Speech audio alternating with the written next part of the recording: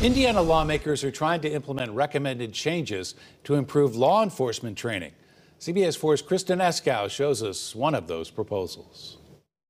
Officials at the Indiana State House are keeping law enforcement a priority this session.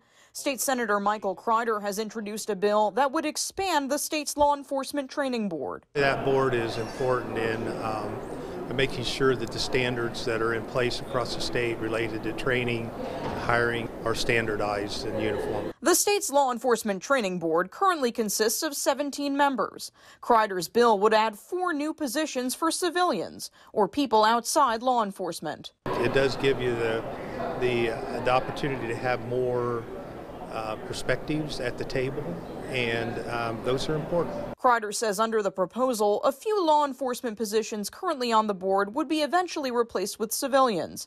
It's part of Governor Eric Holcomb's 2022 agenda. So we'll have more input on a statewide basis uh, to make sure um, um, that we're um, operating Uh, most efficiently and with equity always in mind. The proposal is one of several changes in the works following a third party review of Indiana's state level law enforcement agencies last year.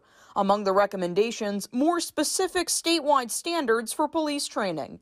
That includes curriculum on subjects like implicit bias and de escalation. Training is key for any for the success of any law enforcement agency. Deputy Chief Gary Woodruff of the Lawrence Police Department says he believes more community input, both at the state and local level, is key to improving policing. Our profession as a whole need, needs to continue to evolve and meet the expectations of the citizens we serve. From the Indiana State House, Kristen Eskow, CBS 4 News.